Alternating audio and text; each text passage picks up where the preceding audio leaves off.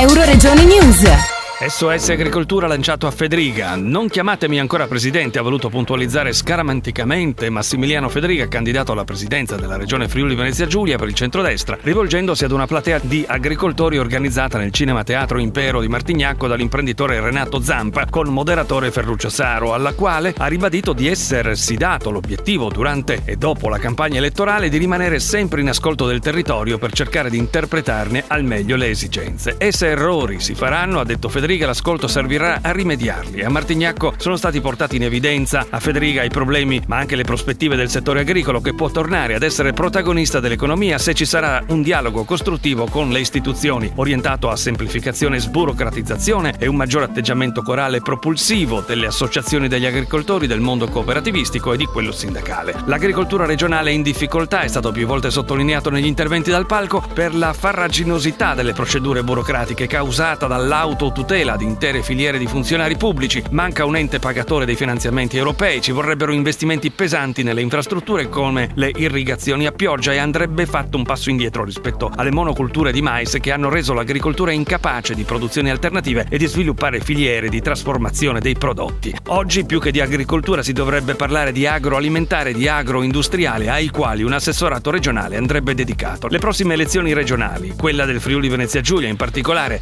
sono uno dei motivi motivi che influenzano l'imbarazzante ritardo in cui l'Italia si destreggia nella formazione del nuovo governo lo abbiamo chiesto a Massimiliano Federica, giunto a Martignacco, accompagnato da Renato Zampa, organizzatore dell'incontro. Non credo sia l'ago della rilancia, sicuramente però il 29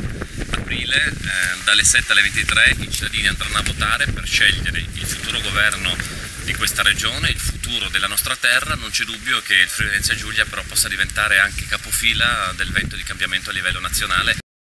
Ad accogliere Massimiliano Federica a Martignacco gli agricoltori, alcuni a bordo di trattori, ma quali sono le prime valutazioni di Federica a fronte delle istanze provenienti dal mondo agricolo? Purtroppo l'agricoltura è stata abbandonata in questi ultimi cinque anni, basti pensare al PSR, basti pensare all'ente pagatore unico che non ha dato risposte alle esigenze produttive del nostro comparto agricolo. È chiaro però che bisogna prima di tutto risolvere questi problemi ma guardare anche il futuro, qual è il futuro dell'agricoltura. Noi dobbiamo pensare a una valorizzazione dei nostri prodotti trasformati che sono un valore aggiunto eh, e farli conoscere soprattutto fuori dalla regione. L'imprenditore agricolo Renato Zampa, patron di Cospalat, puntualizza sul declino dell'agricoltura regionale e sulla mancanza di impegno nel valorizzare ciò che si produce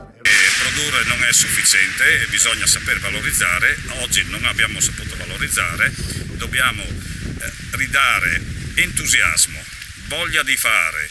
e qualcosa di nuovo,